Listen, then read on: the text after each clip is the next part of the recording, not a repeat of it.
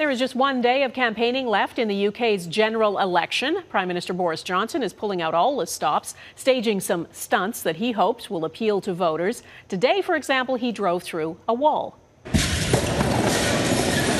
It was made of styrofoam, but you get the point. Johnson promises to break the gridlock and get Brexit done, the slogan that is key to his campaign. The stakes are high and it's starting to show. Apart from stunts, there have been lies, dirty tricks, and accusations of fake news. Redmond Shannon on the final push to win over voters. Get it done. Stop the chaos. I'll get it. Life imitating art. You can't deny it. This campaign ad is a clever parody of a scene from the movie Love Actually. Enough. Enough. Let's get this done. From the Prime Minister turned actor to the actor who played the Prime Minister. I thought it was quite well done. Uh, very high production values, but clearly the Conservative Party have an awful lot of money. Um, maybe that's where all the rubles went.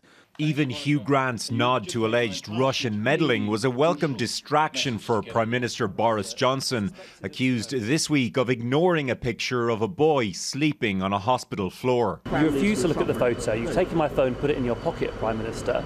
Social media accounts went into overdrive, calling the picture fake, even though it wasn't. This picture of a four year old boy Opposition leader Jeremy Corbyn didn't have long to gloat with this leaked audio of his own health critic. They don't like uh, Johnson, but they can't stand Corbyn and they think Labour's blocked Brexit. Embarrassments for both contenders, desperate to avoid scoring any more own goals.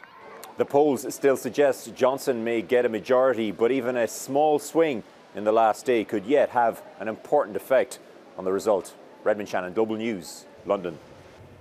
As politicians scramble for votes in the dying days of the British election campaign, there's one corner of England where a long held and little known part of Canada hangs in the balance. Jeff Semple introduces us to a riding that's a little more maple leaf than Union Jack.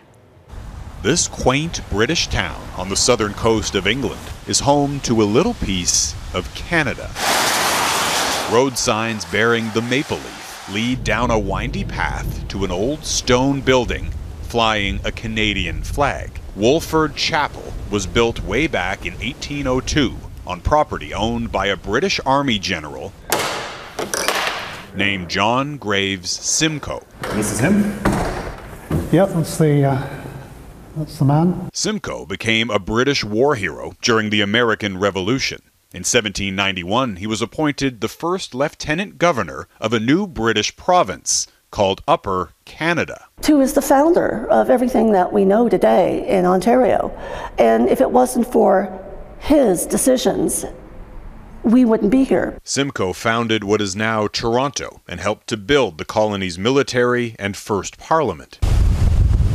When he returned to England, Simcoe settled on this estate. Most of the structures are gone, but the chapel remains. Simcoe and his family are now buried here at Wolford Chapel, and as a tribute to his legacy, in the 1960s, this land was given as a gift to the people of Ontario. Then Ontario Premier John Robarts received the deed to the chapel and its collection of antique furnishings. The border gate, as it were, and here we go. We are now on Canadian soil. This local resident helps to maintain the property with support from the Ontario government. It remains almost exactly as it was 200 years ago. It's a simple rectangular building. Um, it hasn't had any additions or alterations. The chapel is now open to visitors year round and receives plenty of them, as evidenced by this guest book, including Canadians delighted to find a great little reminder of home. Conserving Ontario's history is not necessarily just in Ontario. In some ways, it's a piece of Canada in Britain. Jeff Semple, Global News, in Devon, England.